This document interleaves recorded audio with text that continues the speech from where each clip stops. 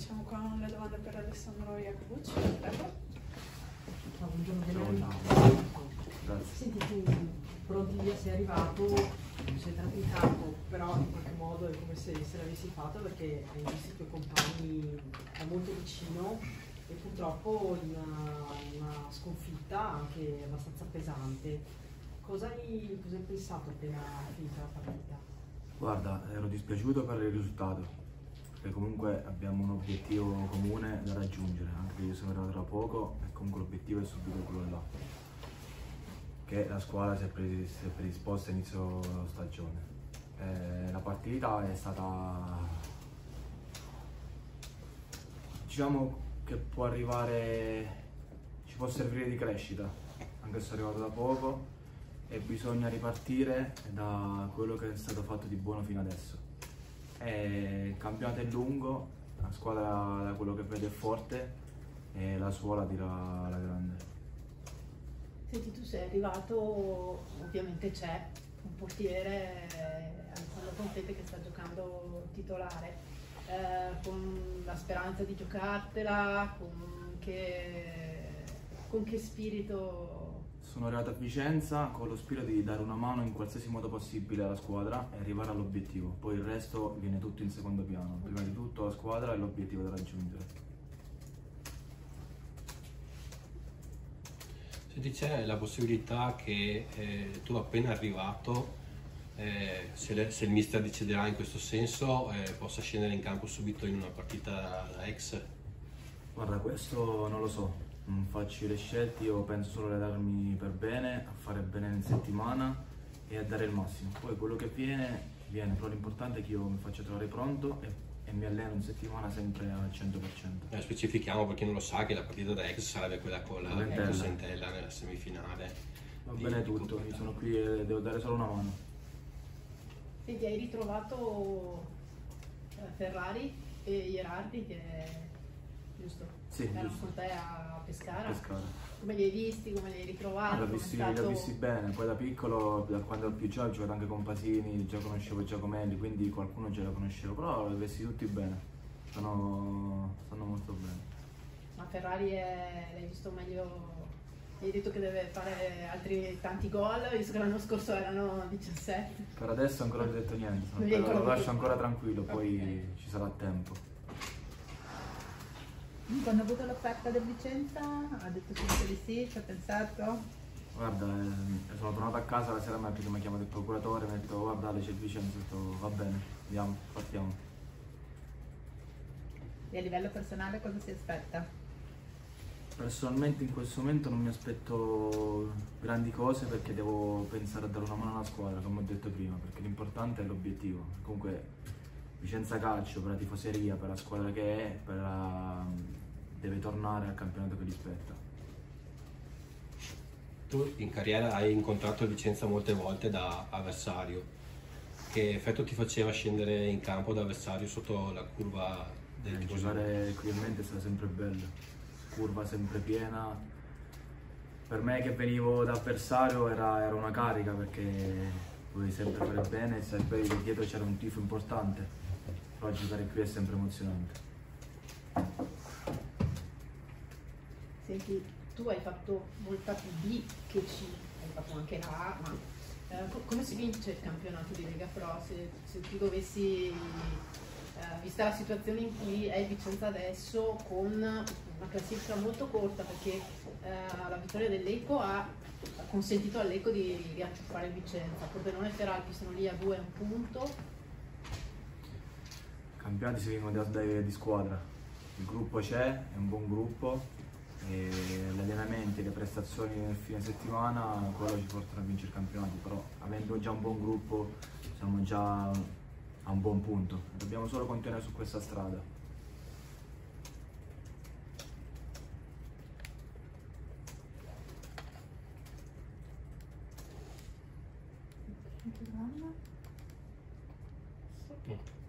passiamo a Maissa allora. Prego. Chi inizia? Allora sì, si parlava da giorni di un tuo possibile arrivo, arriva, non arriva. Raccontaci un po' tu come è andata la, la trattativa quando è arrivato finalmente la, la chiusura e la, la- tua idea di Vicenza, sei contento? Sì, sono felicissimo di stare qua a Vicenza. Già l'estate, prima dell'inizio del campionato, mi hanno parlato di Vicenza, del progetto, tutto questo mi interessava. Però era il momento decisivo dove non potevo lasciare Cremona per decidere un altro challenge. Quando ho parlato con il mister lì mi avevo detto ok, qui stai, proviamo e dopo... Con il mister a Cremona intendi? Sì, cerchiamo di darti spazio così ti faccio crescere. Però alla fine con le difficoltà vediamo tutti come è andato il campionato e già ho capito che non potevo trovare spazio o sarà difficile trovarlo. E lì quando hanno tirato ancora fuori il progetto, senza pensarsi due volte che mi interessava solo giocare con un progetto concreto, quando mi hanno raccontato tutto questo ho detto faccio le valigie e vado. Quindi avevate già parlato quest'estate, intendevi Sì. prima con la società, eccetera. Ok.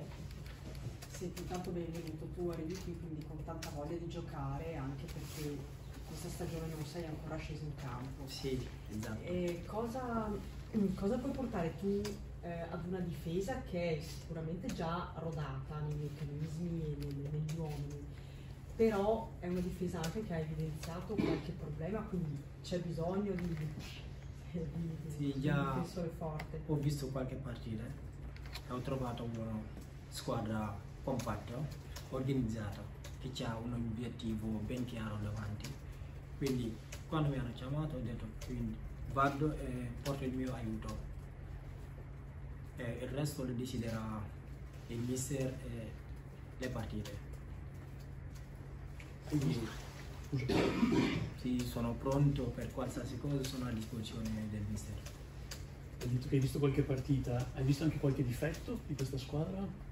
Magari nel reparto che più ti compete la difesa? sia che la Serie A, Serie B, Serie C c'è sempre un difetto. Sì, sono dei bassi e dei alti. Quindi cerchiamo di migliorare tutto questo e raggiungere l'obiettivo. Mm. Sì. Tu, quella squadra lì, per quello che hai visto, non so quali partite tu abbia visto, Ho visto Padova, ok? ho visto Lecce. Le, con le ultime Lecco, due, quindi. Sì, contro Lecco. Ok, quindi proprio le ultime due. Sì. E ti sembra di essere un giocatore che può dare doti di, eh, di marcatura, di velocità, di posizioni in avanti, offensiva? Sì, dipende da quello che chiede il mister. Mm? Sì. Sono a disposizione per qualsiasi cosa che mi chiede il mister. Tu come caratteristiche però finora hai sempre giocato, hai giocato in una difesa a 3, giusto? Sì, ho giocato sia a 3 che a 4. Ah, ok. Sì. E hai fatto il... il cioè- Sì, sono in grado di giocare su tutta la, tutta la linea difensiva, ok. da sinistra a destra. Sia a 3 che a 4. Sì. Per le tue caratteristiche, i tuoi colpi Eh, migliori? già sono un atleta, sono veloce e il resto lo vediamo in campo. Anche tu eri già seguito, appunto ti seguivano già da tempo, Sì. eh, Balzaretti, eccetera, che conosci immagino, che conosci Sì, già. perché lui mi conosce da quando sono arrivato alla Roma nel 2019-2020. Non avevo la fortuna di incontrarlo, però già lui mi seguiva, mi ha visto fare il provino, tutto qua, vedevo le partite, però è un campione. Sì, sono contento di lavorare con lui. Ok.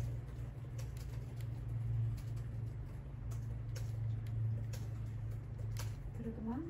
Senti, tu sei partito da, da distante per venire qui in Italia. Quando sei partito da- da- dall'Africa, dal Senegal, Sì. avevi già in mente di fare una storia, di, di realizzare la tua carriera da calciatore oppure sei solamente venuto qui per trovare diciamo, una sistemazione migliore? No, perché da quando ero bambino sognavo di venire in Italia. Mi è sempre piaciuto il calcio italiano e nella mia testa dicevo, "Oh, cavolo, voglio fare la mia formazione giovanile in Italia. Quindi quando sono partito avevo già qualcosa in mente, avevo già un progetto, perché prima era un sogno, però quando ho iniziato a dire ma devo andare via a raggiungere un obiettivo, lì ho detto che non è più un sogno, ma è diventato una realtà. Quindi avevo una cosa concreta in testa che è quello che voglio fare, lo seguo. Quando l'ho seguito, Dio mi ha aiutato ad arrivare fino in Italia.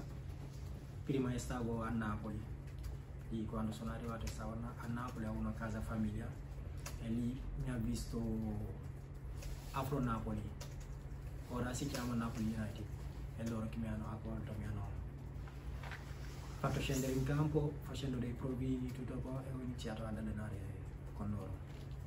Però non ho mai giocato una partita visto che avevo un problema con i documenti, la scuola, tutto qua, quindi ho dovuto aspettare fino a che ho fatto provino con Napoli, Benevento e Roma. E lì ho deciso di andare alla Roma e loro mi hanno aiutato, mi hanno fatto tutto, i documenti e ho iniziato a giocare.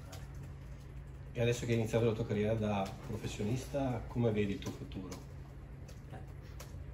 Cerco di lavorare sodo, duro, con sacrifici per arrivare nel più alto possibile. Quando era in Senegal giocava? In Senegal, da ragazzino, da piccolo. Sì, giocavo, Giocavi? perché facevo calcio e andavo a scuola. Non era facile abbinare tutti e due perché ci allenavamo la mattina e dovevo andare a scuola la mattina. Quindi alla fine ho dovuto lasciare un po' la scuola di nascosto senza che la sappia la mia famiglia, mio padre, tutti. Dopo sei mesi mia zia ha parlato con mio padre che il ragazzo ha deciso di lasciare la scuola per seguire il suo sogno. Era difficile per mio padre che oggi perso tre anni. Però cerco di fare tutto per renderlo un po' fiero. La tua famiglia è in Senegal? Sì, Sono tutti ancora in Senegal. sì, vivo da solo qua in Italia. C'ho mio fratello in Spagna e mia sorella. Ma gioca a calcio anche tuo fratello? No, lavoro. Sono l'unico che gioca a calcio. Presupponendo che Gli altri seguono un'altra cosa. Ok. Sì. Hai un giocatore, un idolo, un giocatore che ti ispirava quando eri bambino? Sì, era Sergio Ramos. Ok. Jacobucci è sempre così serio? No, no, sto ascoltando, sto ascoltando in questo momento. Ascolta. Bene, altre domande? Ah, volevo chiedere a Jacobucci, mi sono dimenticato prima, Eh, tu arrivi qua con un contratto fino a giugno giusto di, quest'anno c'è qualche, eh, mh, diciamo, hai legato un, un eventuale rinnovo al raggiungimento di qualche obiettivo oppure ne parlerete eventualmente? C'è un'opzione che poi deciderà, deciderà la società. Io nel frattempo mi alleno e faccio bene e do il mio contributo. Poi a giugno vedremo da farsi. Non è il momento di pensare a questo.